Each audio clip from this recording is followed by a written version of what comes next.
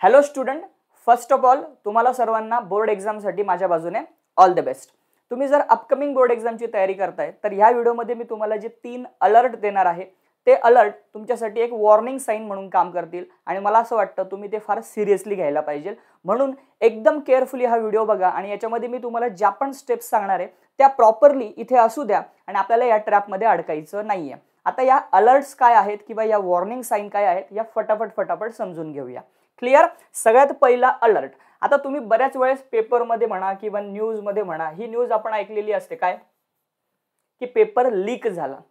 आता याच्यामध्ये दोन बाजू आहेत. एक तर ती न्यूज खरं असू शकते म्हणजे रिअल असू शकते किंवा सेकंड थिंग म्हणजे ती न्यूज फेक असू शकते. मी सुरुवात फेकपासून करतो. ओके? आता याच्याशी तुमचा काय संबंध आहे ते नीट समजून घ्या बरं का.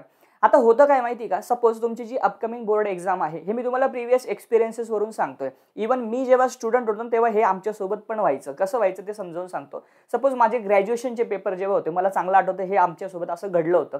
माझे ग्रॅज्युएशनचे पेपर होते म्हणजे मी बी फार्मचे पेपर देत असताना काय झालं की आमच्या आमच्याच कॉलेजमधल्या एका मित्राचा फोन आला.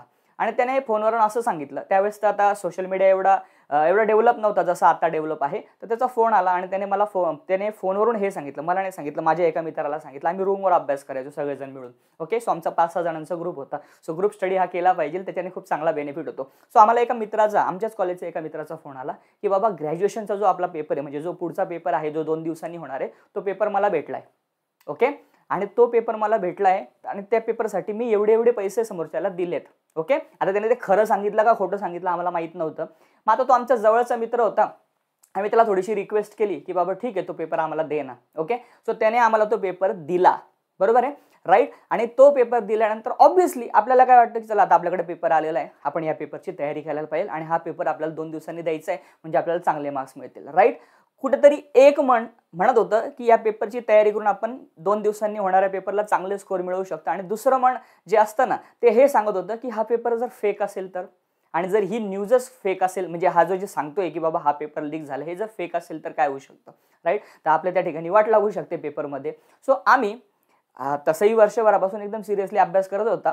ते जे तो जो पेपर होता त्याचं प्रिपरेशन केलं त्यातले क्वेश्चन्स एकदा बघून घेतले की नेमकं काय क्वेश्चन विचारले गेलेले आहे. ते पण थोडे प्रिपेअर केले. मी म्हणत नाही असं प्रिपेअर केले नाही पण ते असं वरच्यावरती प्रिपेअर केलं. पूर्णपणे त्याच्यावर डिपेंडंट नव्हतो. आमचा जो स्टडी होता तो रेग्युलरली चालू ठेवला.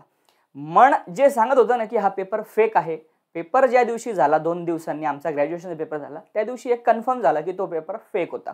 आता हे त्यावेळेचा ट्रेंड झाला. आता सध्या काय होतं? सपोज तुमचा चोवीस तारखेला फिजिक्सचा पेपर आहे. मला डेट कन्फर्म नाही माहिती पण आय थिंक चोवीस फेब्रुवारीला तुमचा फिजिक्सचा पेपर आहे सपोज राईट एकदा कन्फर्म करून घ्याल. चोवीसला असेल पंचवीसला असेल सव्वीसला असेल.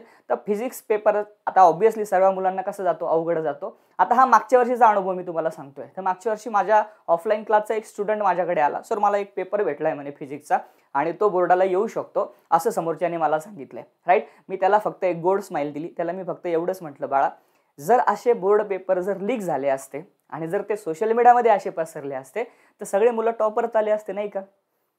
असं काही होत नाही बाळांनो. तुम्ही जेवढे पण व्हिडिओ बघताय मी तुम्हाला पहिली ही गोष्ट क्लिअर क्लिअर करू इच्छितो की असा जर पेपर तुमच्याकडे येत असेल आणि जर तुम्हाला कोणी म्हणत असेल की हा पेपर त्या ठिकाणी बोर्डचा पेपर आहे लीक झालेला आहे माझ्याकडे आलेला आहे आणि याच्यासाठी तुला एवढे एवढे पैसे द्यायचे तर दहा हात त्यापासून लांब तुम्हाला राहायचं आहे लगेच तो मेसेज त्या ठिकाणी डिलीट करायचा आहे. हा फार फार तर त्या मेसेजमध्ये समजा तुम्हाला क्वेश्चन पेपर येऊन पण गेली आणि ती फ्रीमध्ये पण मिळाली तर एवढंच करायचं आहे फक्त त्यातले क्वेश्चन्स बघून घ्या पण पूर्णपणे त्याच्यावर डिपेंड राहू नका. हे पूर्णपणे फेक असतं असा कधीही बोर्डाचा पेपर लीक होत नाही ही गोष्ट समजून घ्या. ठीक आहे? ही पहिली पहिली अलर्ट तुम्हाला क्लिअर झाली. आता दुसरी अलर्ट जर पेपर खरंच लीक झाला तर म्हणजे फॉर एक्झाम्पल तुम्ही पेपरला गेले तुम्ही पेपर त्या ठिकाणी अटेम्प्ट केला आणि तुम्ही सेंटरच्या बाहेर आले आणि नंतर मग तुम्ही बघितलं न्यूज चॅनल्सवरती इकडे तिकडे की पेपर लीक झालेला आहे. म्हणजे तुम्ही इतकी मेहनत करून तो पेपर दिला आणि तो पेपर लीक झाला आहे आता याच्यापुढे काय? तर याच्यापुढे जो काही निर्णय असतो तो निर्णय पूर्णपणे महाराष्ट्र स्टेट बोर्डचा असतो. त्यांना तो निर्णय घ्यायचा असतो. मग त्यावेळेस ते त्या पर्टिक्युलर सेंटरमध्ये जिथे तो पेपर लीक झाला त्या सेंटरबद्दल तो निर्णय घेऊ शकतात किंवा पूर्ण महाराष्ट्रातल्या स्टुडंटसाठी तो निर्णय घेऊ शकता हा पूर्ण निर्णय महाराष्ट्र स्टेट बोर्डचा असतो. याच्यात मग आता तुम्ही म्हणाल की सर मग ज्या मुलांनी एकदम सिरियसली पेपर दिला त्यांचं काय? ऑब्व्हियसली त्या दोघं बाजू असतात. त्या बोर्डाला चेक करायचं असतं आणि बोर्ड त्याच्यावरती निर्णय घेतं. मी तुम्हाला एक सांगू का?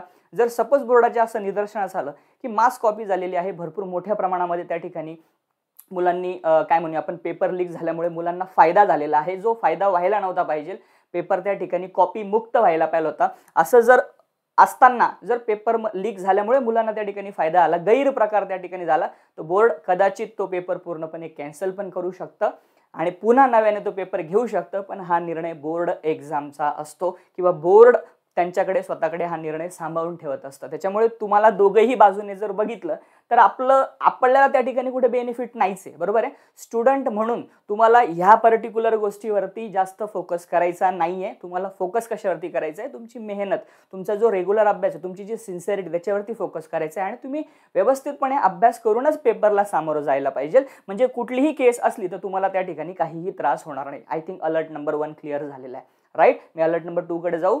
ठीक आहे? याच्याबद्दल काही डाऊट्स असतील कमेंट सेशनमध्ये टाका. अलर्ट नंबर टू आहे राईट सेकंड वॉर्निंग साईन तुमच्यासाठी. That is guess paper that is guess paper आता तुम्ही जर बघितलं ना आता हे सोशल मीडियाचं युग आहे. तुम्ही हा व्हिडिओ यूट्यूबवर बघताय बरोबर आहे? सो यूट्यूबवर मी एकटा नाही आहे की जो मुलांना त्या ठिकाणी टीच करतोय किंवा गाईड करतोय. ओपन सोर्स आहे. कोणीही येतं त्या ठिकाणी कोणीही काय म्हणूया आपण एक यूट्यूब चॅनल ओपन करतं आणि कोणीही मुलांना त्या ठिकाणी गाईड करू शकतं. आता ते चुकीचं आहे काय तर अजिबात नाही. पण याच्यामध्ये होतं काय माहिती का? बऱ्याच वेळेस व्ह्यूज मिळवण्यासाठी अटेन्शन कॅच करण्यासाठी किंवा वॉच टाईम मिळवण्यासाठी किंवा रिव्हेन्यू कमावण्यासाठी भरपूर त्या ठिकाणी जे लोक असतात अशा पद्धतीने काही ना काहीतरी नवीन काहीतरी शोधत असतात. मी म्हणतो त्याच्यात काही चुकीचं आहे का? तर अजिबात नाही. प्रत्येकाला अटेन्शन हे त्या ठिकाणी हवंच असतं. राईट पण याच्यामध्ये होतं काय? तर बरेच जण गेस्ट पेपर्स त्या ठिकाणी त्यांच्या यूट्यूब चॅनलवरती रिलीज करतात. गेस्ट पेपर गेस्ट पेपर म्हणजे काय प्रकार असतो? सपोज मी बायोलॉजी मुलांना शिकवतो तर माझ्या अँगलने जो काही गेस्ट पेपर आहे म्हणजे मला असं वाटतं की बाबा हा पेपर बोर्डमध्ये यायला पाहिजे सो या अनुषंगाने मी एक पेपर बनवतो आणि तो पेपर मुलांना त्या ठिकाणी देतो. आता इथे चूक काय होते? मी जो पेपर दिला तो चुकीचा नाहीये राईट चुकीचा नाही म्हणजे मी जो गेस्ट पेपर दिला तो का दिला? तो मला वाटत होता ना की हा पेपर यायला पाहिजे. पण आता इथे चुकीचं काय घडलं? तर सपोज जो समोर बघणारा विद्यार्थी आहे त्याने फक्त त्या गेस्ट पेपरलाच प्रिपेअर केलं. आणि इतर कुठल्याही गोष्टीला हातच नाही लावला प्रिपेअरच नाही केलं तर नुकसान कोणाचं होणार आहे? ते विद्यार्थ्याचं होणार आहे. सो जो गेस्ट पेपर देतो आहे म्हणजे सपोज मी एज्युकेटर आहे तर हे सुद्धा त्याने मुलांना सांगितलं पाहिजे की बाबा हा एक फक्त गेस पेपर आहे. हा काही कन्फर्म पेपर नाही कारण की कन्फर्म पेपर कोणालाच माहिती नसतो. सो होल अँड सोल तुम्ही फक्त आणि फक्त ह्या पेपरवर अवलंबून राहू नका. तुम्ही याच्यासोबत बाकीच्या गोष्टी सुद्धा प्रिपेअर करा. हे असं जेव्हा स्पष्टपणे सांगितलं जाईल मुलांना तेव्हा कुठेतरी त्यांना मिसगाईड केल्यापासून वाचवलं जाऊ शकतं राईट सो मी सर्व विद्यार्थ्यांना पण रिक्वेस्ट करेल की तुम्ही गेस्ट पेपर जेव्हा एखाद्या कोणाचं बघत असाल ओके मला मुलंही रिक्वेस्ट करतो की सर तुम्ही पण गेस्ट पेपर द्या ना ओके सो ते त्यांची काय तर रिक्वेस्ट चुकीची नाही कारण प्रत्येकाला कमी वेळामध्ये चांगला स्कोर आणायचा असतो याच्यात चुकीचं काही नाही. पण कुठेतरी तुम्ही तो गेस्ट पेपर जो असतो ना तो गेस्ट पेपर रेफर करा काही हरकत नाही. पण गेस्ट पेपरसोबत तुमचा जो रेग्युलर स्टडी आहे जो तुमचा प्रॉपर जेन्युन स्टडी आहे तो सुद्धा त्या ठिकाणी तुम्ही कंटिन्यू ठेवायला पाहिजे. तुमचं अटेन्शन पूर्णपणे याच्याकडे कॅच करून काही उपयोग नाही. क्लिअर सो इथे एक छोटासा स्टार मी कोणत्याही युट्यूबरला किंवा कोणत्याही एज्युकेटला एज्युकेटरला इथे नाव घेऊन संबोधत नाहीये किंवा टार्गेट करत नाहीये. मी फक्त गाईड तुम्हाला करतो आहे प्रॉपर डिरेक्शन तुम्हाला सांगतो आहे. क्लिअर अलर्ट नंबर तीन. काय आहे अलर्ट नंबर तीन तुमच्यासाठी? And that is the final alert मला असं वाटतं की हे फार मोठं आहे. ओके आता हे लहानपणापासून चालत आलं. ऑब्व्हियसली आपण ज्या एक्झाम सेंटरमध्ये जातो तर मुलं अक्षरशः काय करतात? आदल्या दिवशी जातात पर आपली जागा बघतात आपले सीट नंबर बघतात की कुठे आपली जागा आलेली आहे कुठल्या हॉलमध्ये झालेली आहे आपलं पुढे कोण आहे शेजारी कोण आहे मागे कोण आहे राईट सगळंच बघतात. हे चुकीचं आहे का? तर अजिबात चुकीचं नाही आहे याच्यात तुमचा वेळ जातो बाकी काही होत नाही. आता तुम्ही जेव्हा एक्झाम सेंटरमध्ये जाताना बाबांना तर एक्झाम सेंटरमध्ये पेपर हे अतिशय स्ट्रिक्टपणे घेतले जातात. तिथे आय गेस पंचवीस ते तीस विद्यार्थ्यांसाठी एक त्या ठिकाणी परिवेक्षक असतो जो काय म्हणू आपण परिवेक्षकच म्हणतात त्याला एक्झामिनर असतो जो पेपर त्या ठिकाणी घेत असतो मुलांची ओके आणि त्याच्यासाठी पंचवीस तीस मुलांवरती लक्ष ठेवणं काही विशेष अवघड होत नाही. कारण की कमी विद्यार्थी असतात प्रॉपर त्या ठिकाणी शिस्तबद्ध पद्धतीने बोर्डाचा पेपर घेण्यासाठी त्या ठिकाणी बोर्ड एक्झामने पूर्णपणे ती यंत्रणा कामाला लावलेली असते. त्याच्यामुळे तुम्ही ही एक गोष्ट लक्षात घ्या की परीक्षेच्या वेळेस माझ्यापुढे एक हुशार विद्यार्थी आहे आणि तो मला कुठेतरी मदत करेल आणि मग मला त्याचा फायदा होईल. तर बाळांनो असं काही होत नाही. तुम्ही अशा काही अपेक्षांवरती अवलंबून राहू नका. राईट बऱ्याच वेळेस मी बघतो की जे पास होऊन गेलेले विद्यार्थी असतात जे आता एफ वायला आहे एस वायला आहे फर्स्ट इयर सेकंड इयर ग्रॅज्युएशनला आहे ते विद्यार्थी या ज्युनियर विद्यार्थ्यांना सांगतात की बाबा आमच्या वेळेस ना आम्हाला असे असे एम सी क्यू सांगण्यासाठी कोणीतरी आलं होतं. बाळांनो आता एक गोष्ट सांगू का? असं बोलायला कोणीही काही बोलायला आणि समजा आलं जरी असेल तरी एक वर्ष झालंय त्या गोष्टीला. आज एक वर्ष बदललंय इथे गोष्टी एक मिनिटात बदलतात. इथे आपण एक वर्षानंतरची गोष्ट बघतोय. राईट तर असं काही होत नाही. बऱ्याच वेळेस मुलं हे खोटं सांगतात. खोट्या फुशारक्या ह्या त्या ठिकाणी ज्युनियर स्टुडंट समोर त्या मारत असतात. सो तुम्ही अशा कुठल्याही ट्रॅपमध्ये अडकायचं नाही आहे मी रादर तुम्हाला रेकमेंड हेच करेल की हे सर्व जे आहेत हे रुमर्स आहेत ह्या सर्व ज्या आहेत ह्या अफवा आहेत आपल्याला यांच्यापासून अलर्ट राहायचं क्लिअर तुमच्या हातात सध्या जे काही दिवस उरलेले आहेत बोर्ड एक्झामसाठी त्या दिवसांचा प्रॉपरली युटिलाइज करून अभ्यासासाठी विनियोग करा. अभ्यासासाठी डेडिकेशन द्या. ते सगळ्यात जास्त महत्त्वाचं आणि तेच तुम्हाला पुरणार आहे. फायनली पेपर मी आज सुद्धा एक शॉर्ट बनवून त्याच्यात सांगितली. मी शॉर्ट सुद्धा बनवतो आहे सध्या. तर तुम्हाला मी एक महत्त्वाची अपडेट पण देईल की समजा तुम्ही बायोचं प्रिपरेशन करत असाल तर बायोचं प्रिपरेशन करण्यासाठी तुम्हाला पेपरच्या अगोदर तीन सुट्ट्या दिलेल्या आहेत. बरोबर ना बोर्ड एक्झामने? राईट? तीन सुट्ट्या म्हणजे तीन दिवस तुम्हाला पेपर नाही आहे तुमचा अगोदरचा पेपर मॅथचा आहे तो संपल्यानंतर. तर या तीन दिवसा तीन दिवसामध्ये तुम्ही फक्त आणि फक्त आयडियली रिव्हिजनच करायला पाहिजे. बरोबर आहे ना? तुम्ही काय करायला पाहिजे? आत्ता तुमच्याकडे जो काही वेळ आहे त्या वेळामध्ये मॅक्झिमम बायोलॉजीचं तुम्ही रिडिंग करून ठेवायला पाहिजे. आणि जास्तीत जास्त चॅप्टर्स करायला कव्हर करायला पाहिजे. मी याच्यावर एक सेपरेट व्हिडिओ पण बनवलेला आहे. तुम्ही जर प्रॉपर रिव्हिजन करू शकत असाल किंवा करायची असेल तर डिस्क्रिप्शनमध्ये एक प्लेलिस्टची लिंक दिलेली आहे. त्यात मी तुम्हाला बायोलॉजीचे मोस्ट ऑफ चॅप्टर्स हे रिव्हिजन फॉर्मॅटमध्ये दिलेले आहे. एकदा नक्की चेक करा. तुमचे काही चॅप्टर्स बाकी असेल तर प्रिपेअर करा. आणि मी एक स्वतंत्र कोर्स सुद्धा बनवलेला आहे एच एस सी बोर्डचा रेड याच्यात सर्व चॅप्टर्स आहेत.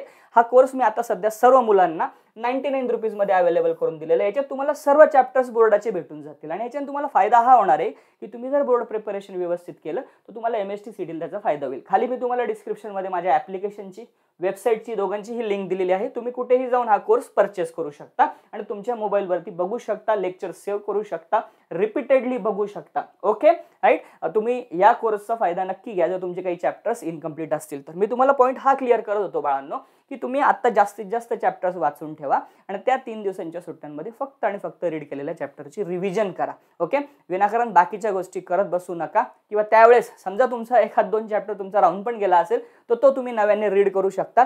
जास्त चॅप्टर्स नव्याने रीड करण्याचा प्रयत्न करू नका. रिव्हिजनवर जास्त फोकस करा. जास्तीत जास्त मॉक टेस्ट द्या. मॉक टेस्ट म्हणजे प्रिव्हियस इयर क्वेश्चन सॉल्व्ह करा. किंवा जे काही पब्लिकेशन्स आहेत स्पेशली नवनीतचं एकवीस अपेक्षित ज्याला म्हणतो आपण किंवा उत्तम पब्लिकेशन आहे किंवा टार्गेटचं सुद्धा एक बुक येतं. त्याच्यामध्ये त्यांनी सॅम्पल पेपर दिलेले ते जरा एकदा ओव्हरलुक करा. ते एकदा जरा सॉल्व्ह करा. त्याच्यानं तुम्हाला बऱ्यापैकी फायदा होईल. खूप सारे नवीन नवीन क्वेश्चन्स तुम्हाला कळतील कारण की बोर्ड एक्झाम नव्याने क्वेश्चन्स त्या ठिकाणी विचारायला लागलेलं आहे. आय होप ह्या व्हिडिओमध्ये सांगितलेले तिघही अलर्ट तुमच्या लक्षात आले असतील प्रॉपरली तुम्हाला समजले असतील तुमच्या मनामध्ये अजूनही काही शंका असेल कमेंट सेक्शन आपलाच आहे त्यामध्ये तुम्ही फ्रीमध्ये कमेंट करू शकता. चॅनल सबस्क्राईब आणि टेलिग्राम ग्रुप नक्की जॉईन करा. त्याची लिंक तुम्हाला हवी असेल तर व्हॉट्सअपला मला फक्त हाय करा भेटून जाईल. ठीक आहे? पुन्हा एकदा तुम्हाला सगळ्यांना ऑल द बेस्ट तुमच्या अपकमिंग बोर्ड एक्झामसाठी रुमर्सपासून आपल्याला दहा हात लांब राहायचं आहे प्रामाणिक राहायचं आहे honesty is the best policy भेटूया नेक्स्ट व्हिडिओमध्ये तोपर्यंत have a good day. Take care. Bye bye. Jai Hind.